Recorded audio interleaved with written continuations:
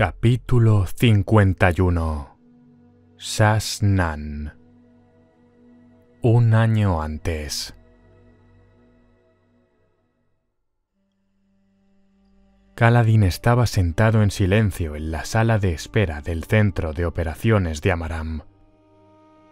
Un recio edificio de madera con una docena de secciones que podían ser desconectadas y tiradas por Chuls. Kaladin se encontraba junto a una ventana, contemplando el campamento. Había un hueco donde se alojaba su pelotón. Podía distinguirlo desde aquí. Sus tiendas habían sido desmontadas y entregadas a otros pelotones. Quedaban cuatro de sus hombres, cuatro de veintiséis. Y los hombres lo llamaban afortunado, lo llamaban bendito por la tormenta. Había empezado a creérselo. He matado a un portador de esquirlada hoy, pensó aturdido, como Lanafin, el del seguro pie, o Ebot Marcador. Yo he matado uno. Y no le importaba cruzó los brazos en el alféizar de la madera. No había cristal en la ventana y podía sentir la brisa.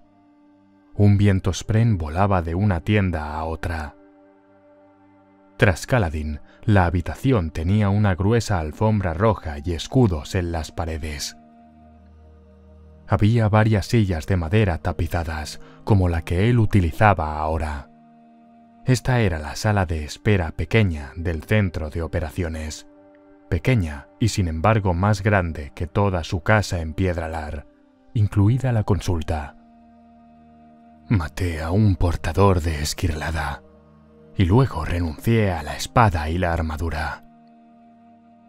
Ese hecho tenía que ser la estupidez más monumental que nadie, en ningún reino, en ninguna era, había cometido jamás. Como portador de esquirlada, Kaladin habría sido más importante que Roshon, más importante que Amaram. Habría podido ir a las llanuras quebradas y luchar en una guerra de verdad. No más escaramuzas en las fronteras, no más mezquinos capitanes ojos claros pertenecientes a familias sin importancia, amargados porque se habían quedado atrás. Nunca tendría que preocuparse por las ampollas de las botas que no le estaban bien por la bazofia de la cena que sabía a crem, por los otros soldados que buscaban pelea.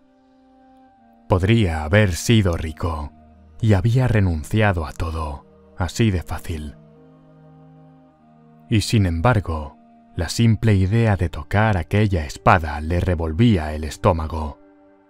No quería riquezas, títulos, ejércitos, ni siquiera una buena comida quería poder regresar y proteger a los hombres que habían confiado en él. ¿Por qué había corrido tras el portador? Tendría que haber huido. Pero no, insistió en atacar a un tormentoso portador de esquirlada. Protegiste a un alto mariscal, se dijo. Eres un héroe. Pero ¿por qué valía más la vida de Amaram que la de sus hombres? Kaladin lo servía por el honor que había mostrado. Dejaba que los lanceros compartieran sus comodidades en el centro de mando durante las altas tormentas. Un pelotón diferente cada tormenta. Insistía en que sus hombres estuvieran bien alimentados y bien pagados. No los trataba como escoria. Pero sí dejaba que sus subordinados lo hicieran y había roto su promesa de proteger a Tien. Y yo también. Y yo también. Por dentro, Caladín era un revoltijo de culpabilidad y pena. Una cosa estaba clara, como un brillante punto de luz en la pared de una habitación oscura. No quería tener nada que ver con aquellas esquirlas, ni siquiera quería tocarlas. La puerta se abrió de golpe y Kaladin se volvió en su silla. Amaram entró, alto, esbelto, con el rostro cuadrado y la larga guerrera marcial verde oscuro. Caminaba con una muleta. Caladín observó los vendajes y el entablillado con ojo crítico. Yo podía haberlo hecho mejor. También habría insistido en que el paciente permaneciera en cama. ¿Por qué se arriesgaría Taidakar a eso? Estaba diciendo a Maram en voz baja. Pero ¿quién más podría ser? Los sangre espectral se vuelven más osados. Tendremos que descubrir quién era. ¿Sabemos algo de él? Era Beden, brillante señor, dijo el predice tormentas. Nadie a quien yo reconozca, pero investigaré. Amaram asintió y guardó silencio. Detrás de los dos entró un grupo de oficiales ojos claros, uno de ellos con la hoja esquirlada, envuelta en una tela blanca pura. Detrás de este grupo llegaron los cuatro miembros supervivientes del pelotón de Kaladin: Hab, Rish, Alabet y Koreb. Kaladin se levantó, exhausto. Amaram permaneció junto a la puerta, los brazos cruzados, mientras dos hombres más entraban y la cerraban. Eran también ojos claros, pero inferiores, oficiales de la guardia personal de Amaram. ¿Se encontraban entre los que habían huido?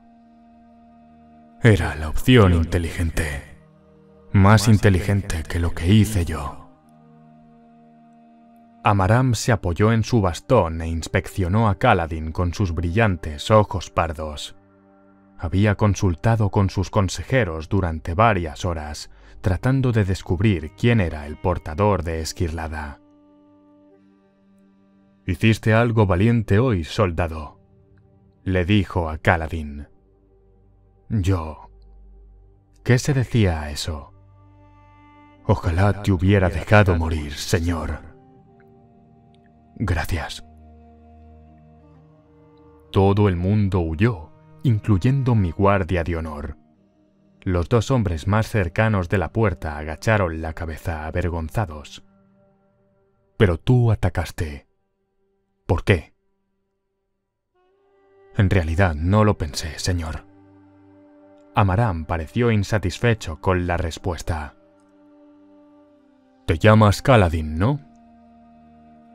Sí, brillante señor. De Piedralar, ¿recuerdas? Amaram frunció el ceño. Parecía confundido. Tu primo, Roshon, es consistor allí. Envió a mi hermano al ejército cuando viniste a reclutar. Yo... yo me enrolé con mi hermano. Ah, sí, dijo Amaram. Creo que te recuerdo. No preguntó por Tien. Todavía no has respondido a mi pregunta. ¿Por qué atacaste? No fue por la hoja esquirlada. ¿La rechazaste? Sí, señor. A un lado, el predice tormentas alzó las cejas, como si no se hubiera creído que Caladín había rechazado la esquirlada. El soldado que sostenía la espada no dejaba de mirarla asombrado. ¿Por qué? dijo Amaram. ¿Por qué la rechazaste? Tengo que saberlo.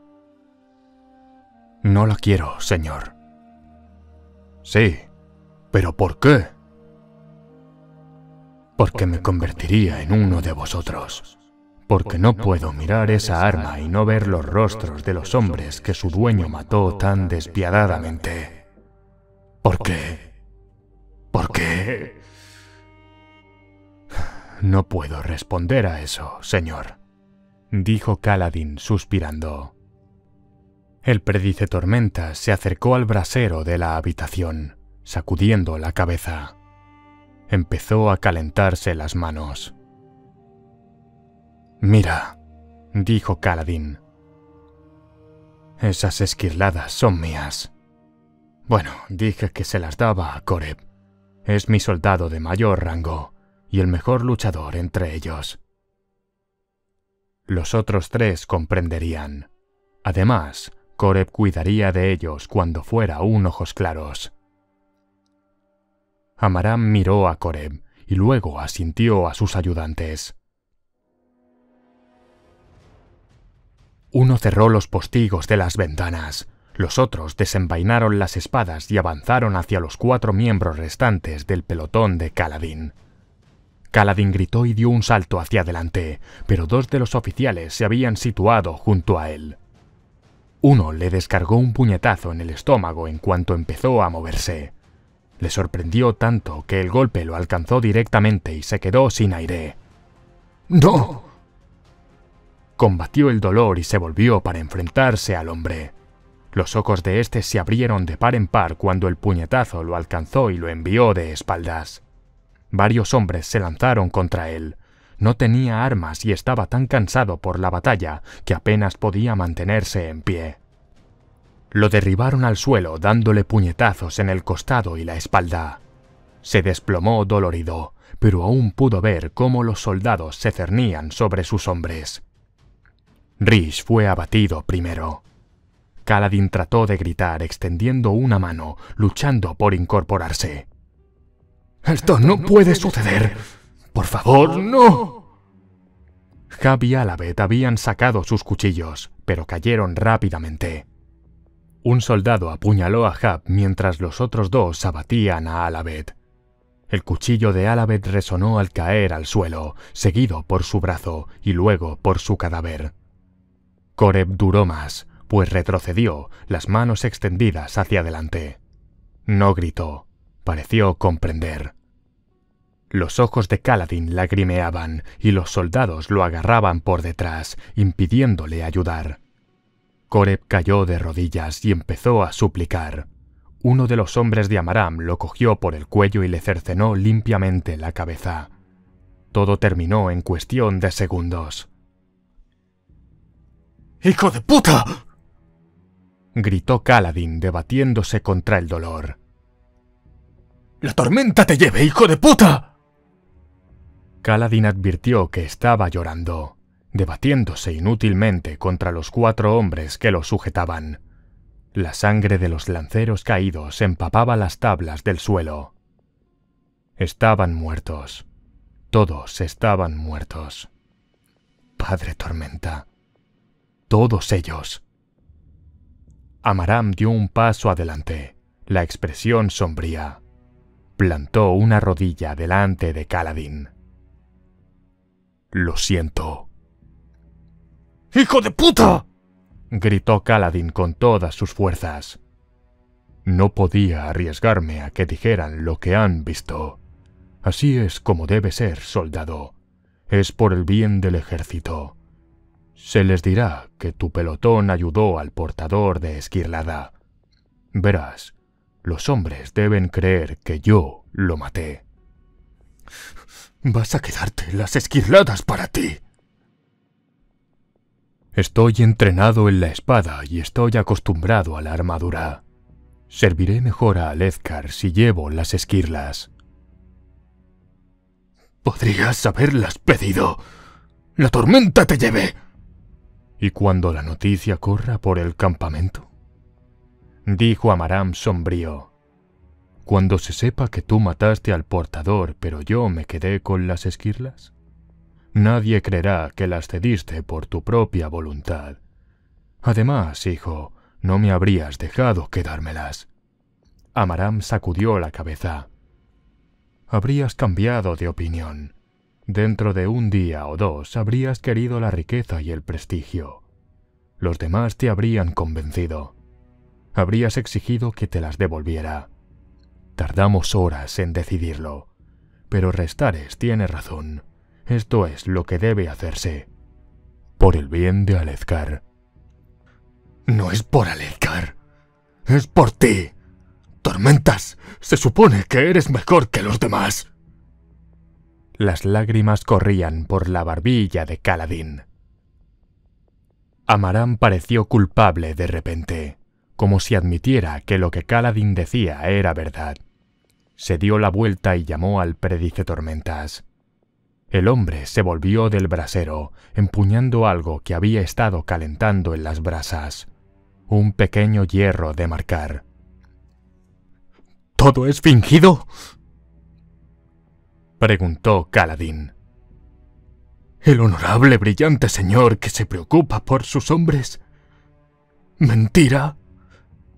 ¿Todo mentira? Esto es por mis hombres, dijo Amaram. Sacó la espada del paño empuñándola. La gema de su pomo lanzó un destello de luz blanca. No puedes comprender el peso que cargo, lancero. La voz de Amaram perdió parte de su tono calmado y razonado. Parecía a la defensiva. No puedo preocuparme por las vidas de unos pocos lanceros ojos oscuros cuando miles de personas podrían salvarse con mi decisión. El predice tormentas avanzó hacia Caladín, colocando en posición el hierro de marcar. Los glifos, a la inversa, decían Sas-Nan, una marca de esclavo. Viniste a por mí, dijo Amaram, cojeando hacia la puerta y rodeando el cadáver de Rish. Por salvarme la vida, respeto la tuya. Cinco hombres contando la misma historia habrían sido creídos, pero un único esclavo será ignorado. En el campamento se dirá que no intentaste ayudar a tus amigos, pero que tampoco intentaste detenerlos. Huiste y fuiste capturado por mi guardia. Amarán vaciló junto a la puerta, el filo romo de la hoja esquirlada robada apoyado en su hombro. La culpa asomaba todavía en sus ojos, pero se controló y la ocultó. Serás degradado como desertor y marcado como esclavo, pero mi misericordia te salva de la muerte. Abrió la puerta y salió. El hierro de marcar cayó, sellando el destino en su piel. Caladín dejó escapar un último grito entrecortado.